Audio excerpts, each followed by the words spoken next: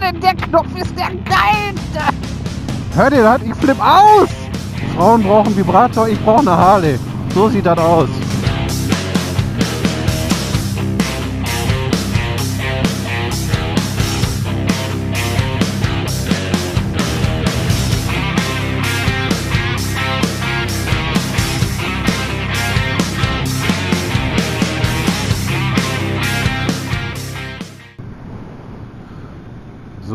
Guten oh meine Freunde.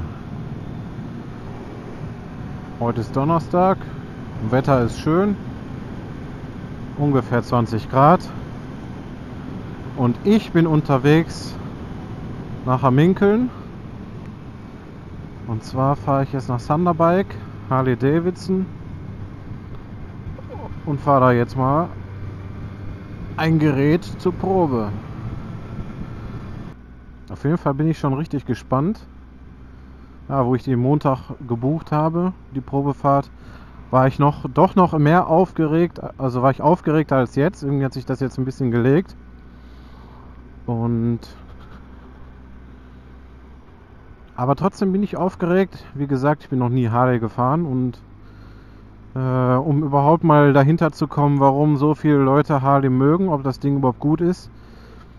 Denn ich muss sagen, ich kenne auch verdammt viele Leute, die Harley fahren und ich weiß auch von ganz vielen, dass das Ding sehr oft und sehr viel in der Werkstatt steht, gerade bei aktuelleren Geräten und bei älteren, ja, dass die über, dass viele mal irgendwie da mal Öl verlieren und hier mal ein paar Schrauben verlieren oder auch schon mal einen ganzen Fender abfällt und all solche Geschichten. Also teilweise doch schon Horrorgeschichten für mich. Aber trotzdem schwören die auf Harley, also muss das Motorrad von Harley Davidson oder die Motorräder ja irgendwas den Fahrern geben, dass die da so drauf schwören. Ja, was heißt schwören? Ne? Die beschweren sich natürlich auch, aber dass sie das trotzdem mitmachen. Und äh,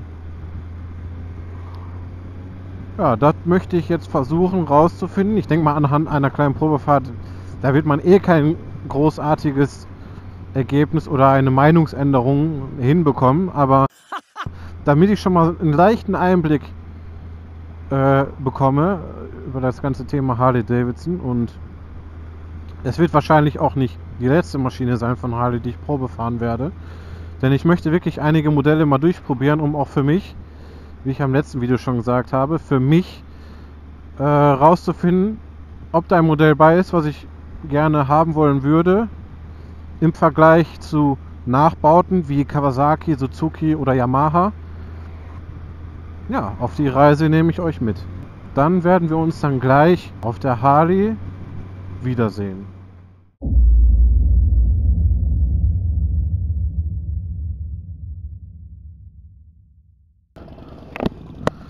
Leute, mal gucken. Nimmt auf, ja. Ich sitze auf einer Harley. Alter, wie geil ist das denn bitte? Leck mich am Arsch. Ich bin gerade mal von Thunderbike Platz runtergefahren. Ich habe jetzt hier eine Sportster, also eine, eine Sportster 1200 48. Schon allein, weil ich groß bin und äh, ne, vorverlegte Fußrastenanlage. Und was richtig geil ist an dem Gerät hier, äh, Jekyll Hyde Anlage. Hier ist ein Knopf. Jetzt wird so laut. Ich flipp aus. Das ist.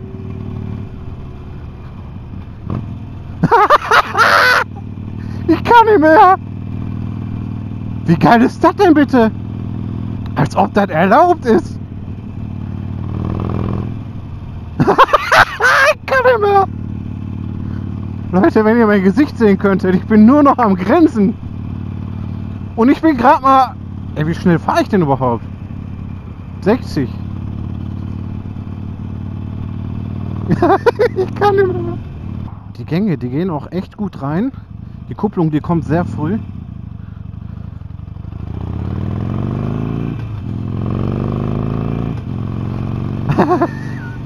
Leute, das doch genau das Richtige für mich. kann nicht mehr. Das ist doch genau dieser... Oh, Leck mich am Sack. Du asoziales Element! Nur einen anderen Lenker müsste ich ja echt drauf haben. Ähm, so einen kleinen Mini-Ape oder irgendwie sowas. Hört ihr das? Ich flipp aus!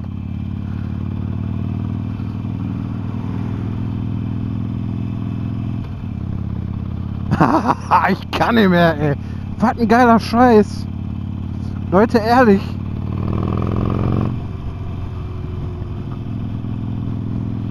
Ich bin jetzt auch mit meiner Kawasaki natürlich hingefahren, habt ihr ja vorhin gesehen.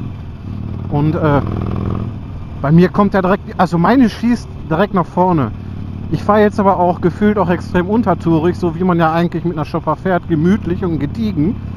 Und boah, ich, ich, oh. Mann, ey, was mache ich hier? Ehrlich. Jetzt will ich so ein Ding haben.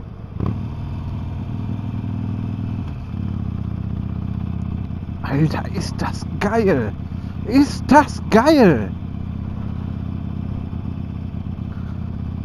Und die ist so leicht im Handling, dafür, dass die doch relativ schwer auch ist. Der Sound einfach nur brutal, ey. Leck mich am Hoden, ohne Witz, ey.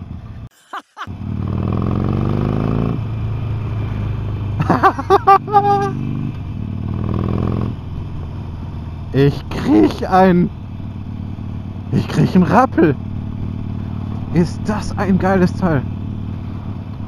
Ich habe die mir auch noch gar nicht richtig angeguckt. Das war auch so locker und das ging so schnell.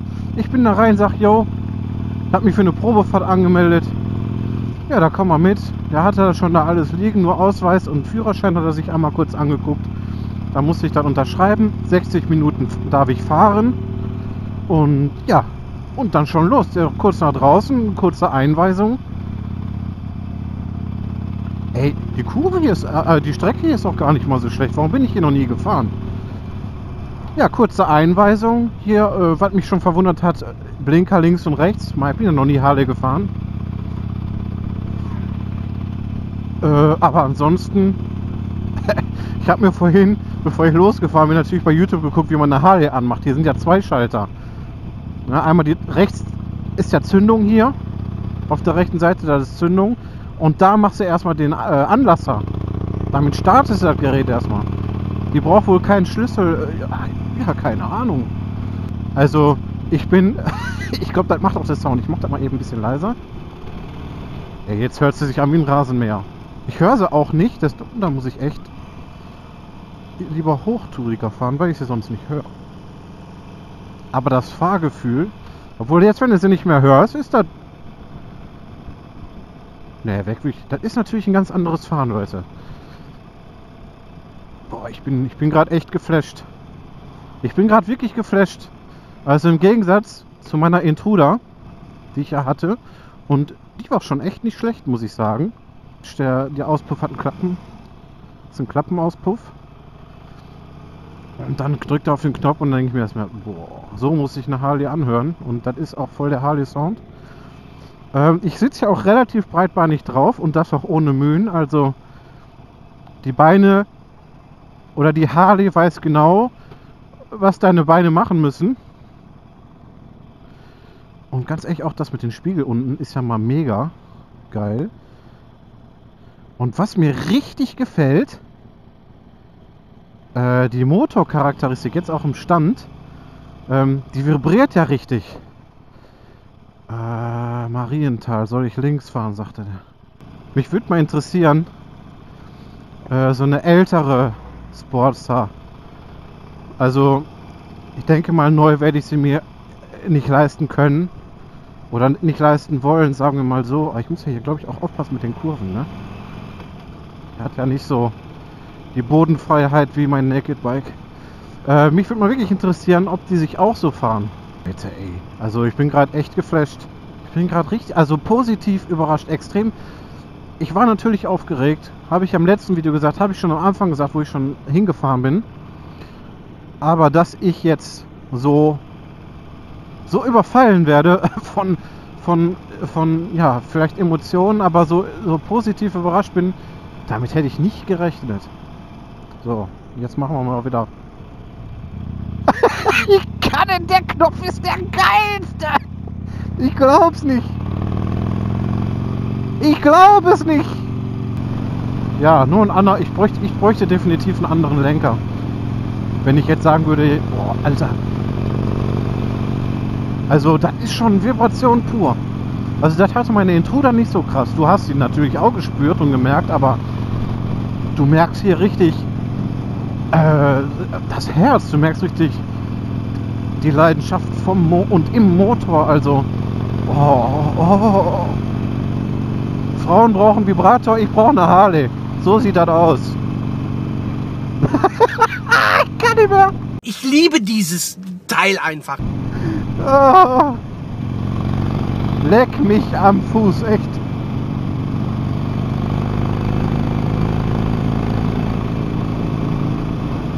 Was ich auch positiv finde, bei 100 km/h, dass die Drehzahl nicht so hoch ist. Also die schreit nicht so.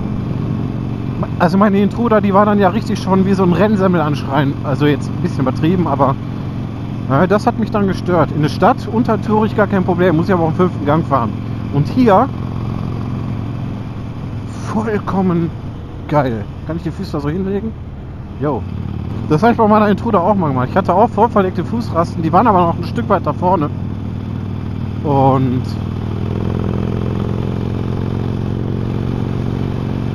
habe ich auf längeren Touren auch dann, weil ich bin ja schon recht groß, also knapp 1,90 bin ich. Oh, ist das das Gefühl. Mann, ey. Ohne Witz, das Gefühl, eine Harley unter seinen Eiern zu haben, ist schon ein schönes Gefühl, muss ich ganz ehrlich sagen. Nicht eben was machen. Das sieht gut aus. Ah ja, so wenn du so äh, runter gehst, ist schon. Also, oh, jetzt so in den Kurven merke ich schon, dass natürlich was mehr wiegt. Aber ähm, die ist trotzdem sehr gut äh, zu handeln. Mal gucken, wie das jetzt aussieht. Leute, ich brauche so ein Ding. Ohne Witz, jetzt muss ich erstmal Fotos machen. Ohne Spaß jetzt, ne? Also ich kann die Harley-Fahrer verstehen, jetzt bin ich ganz ehrlich. Ich bin ganz ehrlich. Jetzt mal schnell ein paar Videos, ach, äh, ein paar Bilder machen. Kann ich, darf ich mir nicht nehmen lassen. Wann kriege ich mal so ein Teil zwischen die Finger? Was ich aber gut finde, dass die echt sagen, eine Stunde Probefahrt. Vollkommen in Ordnung. Geil. Leute, ich bin sowas von geflasht.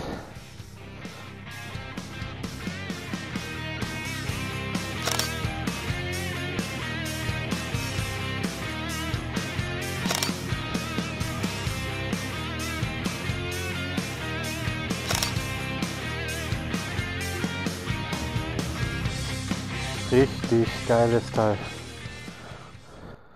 Gut, der orangene Tank. Aber dass das wieder so matt ist, das sieht dann auch wieder geil aus. Ja, guck mal, der Sitz. Der könnte bestimmt noch ein Stückchen nach hinten. Für mich. Aber es gibt bestimmt noch Sitze, weiter nach vorne. Kann man hier gut sehen. Und sonst. Die hat schon so ein bisschen was Bobbermäßiges, ne? Richtig geil. Der schwarze Auspuff, Jekyll in Hyde, ne? Jekyll in Hyde. Und mit diesem schwarzen gewrankelten Lack oder wie sich das nennt. Richtig geil. Und das ist das, was ich bei Harley liebe, was kein anderes Motorrad hat. Wenn ihr hier die Zylinder hast, diese Bolzen, ich weiß zwar nicht, wofür die da sind, ob die zum Festhalten sind oder ob die vielleicht noch eine andere Funktion haben. Aber genau das ist das Geile. Und jetzt starte ich es immer für euch. Zündung hatte ich ja eben angemacht.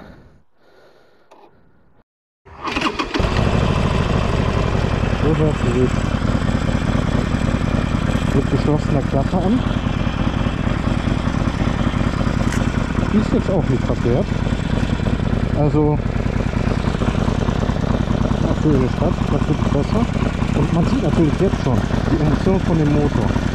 Man hört sie noch nicht richtig, aber man sieht sie. Und zwar hier an diesem ganzen Gerappel.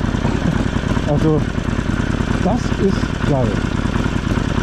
So, und jetzt mache ich mal richtig. Mein besten Freund hier, da, mein bester Freund. So. Leute. Ich glaube, Männer wissen gerade, was ich gerade tue. Ich kann hier, ich hab doch, ich hab einfach nicht mehr. Okay, jetzt machen wir mal noch. Der Sound geil, ich kriege einen Anfall.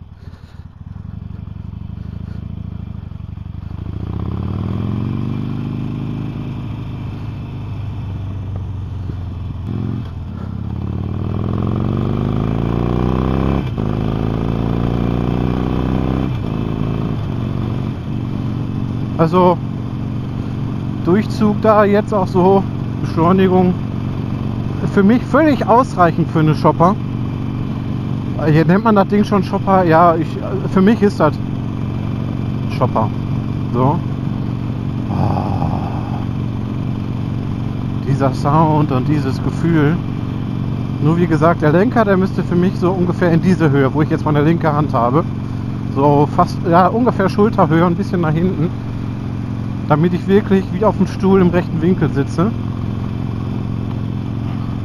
Dann würde das nämlich auch für mich persönlich jetzt mit der äh, Position der Fußrastenanlage hier passen.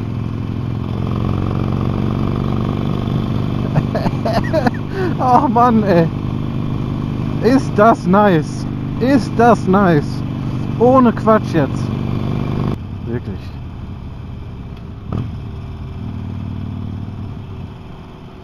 So, hier sind wir wieder am Ort. Da mache ich mal ganz fortschrittsmäßig die Klappenanlage zu. Denn ist ja schon ein bisschen laut. Mich stört das jetzt nicht, aber es gibt ja Anwohner und, und Menschen. Jetzt gerade sowieso heutige Zeit sind sie alle irgendwie gegen Motorräder und gegen Lautstärke.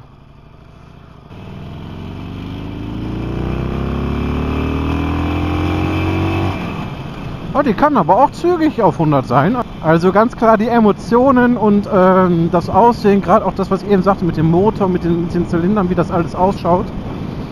Und vor allen Dingen äh, das Gefühl von einem Harley-Motor und einem Harley-Motorrad. Ich glaube, da kommt keine andere Marke dran. Ich muss jetzt mal wieder den Sound anmachen, weil immer wenn ich da drauf drücke, da geht mir einer ab. ich kann nicht mehr. Ist das herrlich, Leute. Leute, was für ein... Also das Gefühl ist ein schönes. Also es ist ein schöne, eine schöne Art Motorrad zu fahren und auch eine schöne Art gemütlich zu fahren. Ich merke, das Motorrad, ich kriege es komplett mit, kriege noch die ganze Landschaft mit, kann mit euch quatschen und äh,